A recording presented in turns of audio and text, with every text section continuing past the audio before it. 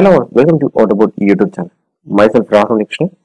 Today we are going to learn how you can set up a Google Workspace account and how you can link that with UiPath for doing the automation of Google Workspace application. Okay, so we'll be covering all the topics through a series of videos. Like uh, in this video, we are going to learn how you can set up the Google Workspace for UiPath automation. And in the coming videos we are going to learn how you can automate the Google Workspace application using UiPath okay so Google Workspace uh, application includes the Google Calendar Google Drive Google Sheets Gmail and Google Docs. Okay so there can be different situations like uh, um, in your automation you may have come across like uh, maybe you'll have to send some uh, Google Calendar invite. Okay so just consider uh, for a week uh, you will have to send across some thousand or sorry some hundred uh, calendar invites. Uh, and uh, those things that you have to do it manually. Okay? But instead of that if you can get the list and the attendees uh, who is going to attend and the title of the particular um,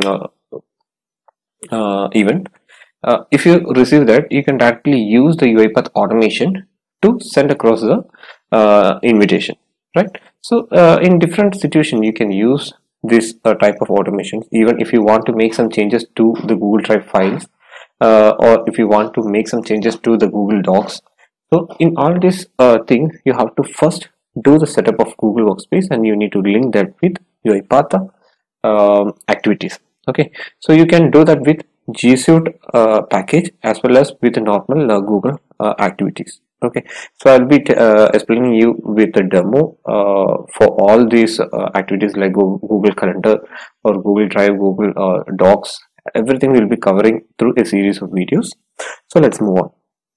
So before going to all this automation let us understand what is google workspace. So google workspace is a collection of cloud computing productivity and collaboration tools software and products developed and marketed by google. It was first launched in 2006 as Google Apps for you for your domain and rebranded as G Suite in 2016, then rebranded again in 2020 as Google Workspace. Okay, uh, so from 2016 to 2020 it was named as G Suite and recently it has renamed to Google Workspace. So these are a set of uh, cloud computing uh, collaborative tools or softwares and products uh, developed and uh, made in by Google okay. So uh, using these kind of apis we can automate uh, uh, these google applications using uipath so uh, how we can automate uh, this google application or the google workspace application using uipath for that uipath is offering a package that is G Suite or works, workspace package. So the uipath.gsuite.activities package help you automate google workspace formerly known as G Suite application including Google Calendar, Google Drive, Google Sheets, Gmail and Google Docs. With the Google G Suite uh, activities package, you can create and modify Google Calendar event, manage Google Drive files, read and send Gmail messages, create new Google Sheets spreadsheet and Google Docs document okay. So there are a variety of automation that we can do with this package as well as other than this gsuite.activities package. Using the mail.activities package also we can uh, do the automation for the google applications. Okay. So there also you'll have to provide a credential but for that you'll have to do some setup in the google workspace Setup application in Google Cloud. Before using the Google G Suite Activities package, you must configure your application using the Google Cloud platform. So just consider you need to automate the Google Calendar application in the Google Cloud. Okay, so what you have to do? The first step is you need to enable the API for the Google uh, uh, Calendar. Then you need to create a credential for that. Okay, so if you did that, then only you will be able to use the uh, Google Calendar application which is uh, hosted in the Google Cloud. Okay, so before using the Google uh, G Suite Activities package, you must configure your application using Google Cloud Platform. There are two configuration steps. What is the first step? That is enable API. This step enables automation by granting API access to your G Suite applications. Okay, so in order to uh, um, integrate UiPath with uh, the G Suite application, you need to first enable the APIs in the uh, Google um, workspace. Okay. So first you need to create a project. Then to that project you need to enable the apis then you need to create the credential. So that is the last step. Create credential. They specify the authentication type used to interact with your enabled apis okay. So that's it. So just let me go to chrome okay so here uh, we have the docs for uh, the google g suite activities uh, package. So i'll be providing this link in the description. You can go through that. It will give you a clear understanding about these packages and what are the different uh, applications that we can automate using the g suite package. And uh, uh, here also you can see the different application or the configuration requirement for doing this automation. Okay and here also it has provided the uh, steps for enabling uh, the APIs as well as for creating the credentials in the Google Workspace. Okay, so for creating what you need to do, you need to go to this particular uh, application or uh, to this particular site console.cloud.google.com. Then you need to sign in with your uh, Gmail ID. Then you need to create a project. Okay, so I'll be providing this link also in the description. You can go through that and you can uh, uh, do the same thing uh, along with me. Okay so using this link you can get access to the google cloud platform. And once you log in uh, to this what you need to do is just click on this. Okay click on new project. Okay add some name. So i'm going to give like uh, g suite UiPath okay so that is my uh, project name then if you want to add some location details you can add it. Click on create.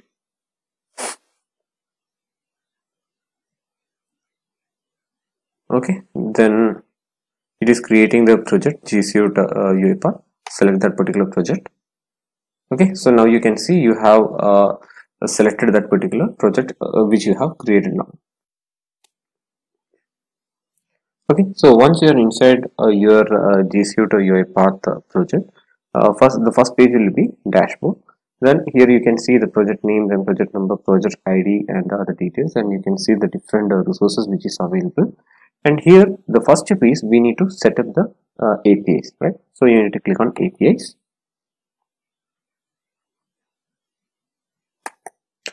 go to uh, api overview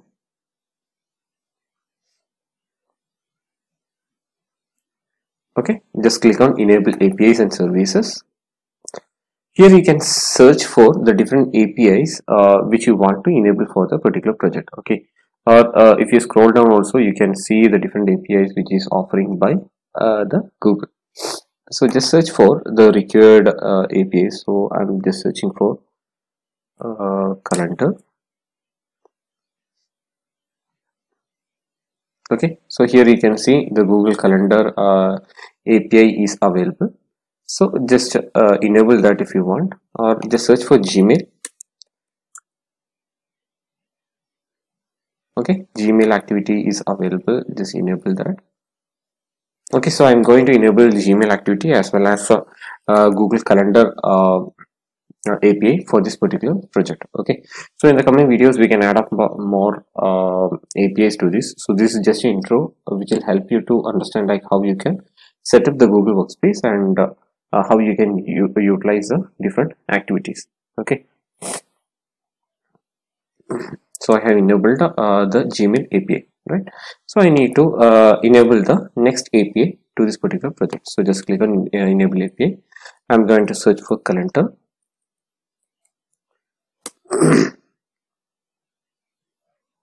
Click on Google uh, calendar API click on enable so here you can see integrate with google calendar using the calendar api okay. So here what you're doing to this particular project which you just created you're going to uh, enable the access to this particular apis okay. So that is gmail as well as the google calendar. So if we want to automate these softwares which is offering by you google you can use the credentials which you're going to create for the particular project okay so now what you have done you uh, enabled the two apis to a particular project then what you need to do you need to go to credential. Okay here it will ask you to create the credential. Okay so there are three methods. One is api key method. You can create the api keys for that or you can create a service account or you can create the uh, auth uh, client IDs okay. So we are going to progress with this uh, method. So okay. For this authorization you will have to create a client ID and the client password. So I will tell you how you can do that. Uh, click on create a credential okay. Then click on OAuth client ID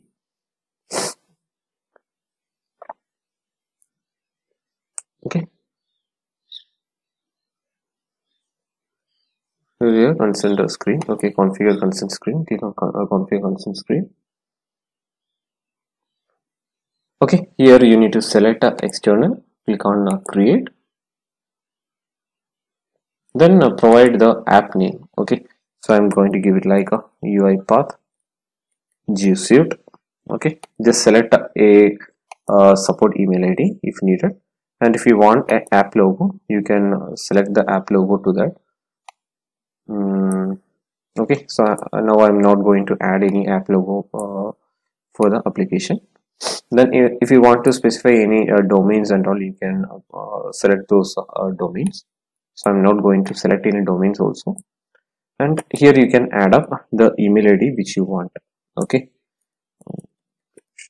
At gmail.com okay so this email id uh, address are for google to notify your you about any changes to the project. So if someone is going to make any changes you can you will get an alert okay from the google stating there are some changes happen okay that's why we are providing this email id click on save and continue.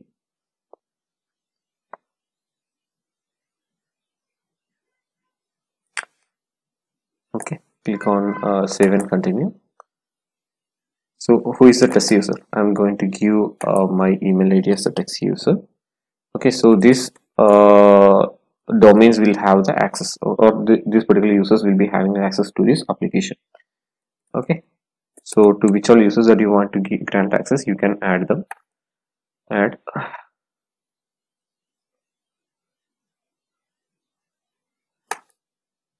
Okay? Save and continue.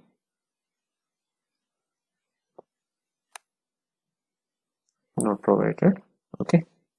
So that's it. Then go to credential then